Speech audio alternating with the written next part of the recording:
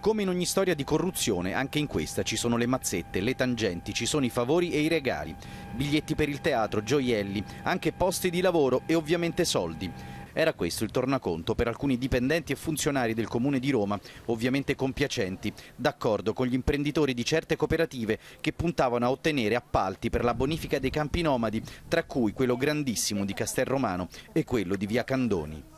Appalti assegnati naturalmente senza alcuna gara, con firme e documenti falsi a suon di tangenti, tanto si sapeva già chi doveva ottenere i lavori, lavori che spesso non venivano nemmeno effettuati.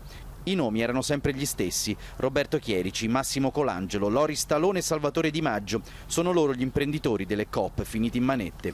Corruzione, falso in atto pubblico e turbativa d'asta, questi i reati contestati a vario titolo anche a due funzionari del Comune di Roma e a un vigile urbano. Pare che si tratti di appalti che riguardano i servizi sociali, però anche di una fase precedente, ancora di fatti precedenti rispetto, non del tutto attuali. È un settore oggettivamente su cui ci sono rischi leggeremo l'ordinanza per capire bene cosa è accaduto.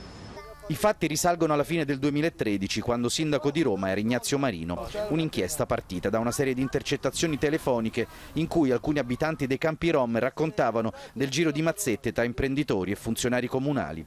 Una nuova vicenda di corruzione che però non c'entra nulla con Mafia Capitale, dicono dalla Procura di Roma, anche se un po' gli somiglia. Tra gli indagati spicca il nome di Emanuela Salvatori, la funzionaria del comune che lo scorso novembre era stata condannata a quattro anni di reclusione per i suoi affari con l'ormai ex re delle cooperative Salvatore Buzzi, capofila insieme a Massimo Carminati del Mondo di Mezzo, scoperchiato proprio con l'inchiesta su Mafia Capitale. Ringrazio Procura e Forze dell'Ordine per il lavoro svolto, scrive attraverso i social network la neoprima cittadina Virginia Raggi, che domani sarà proclamata ufficialmente sindaco e giovedì salirà al Campidoglio per il cambio di consegne col commissario straordinario Tronca.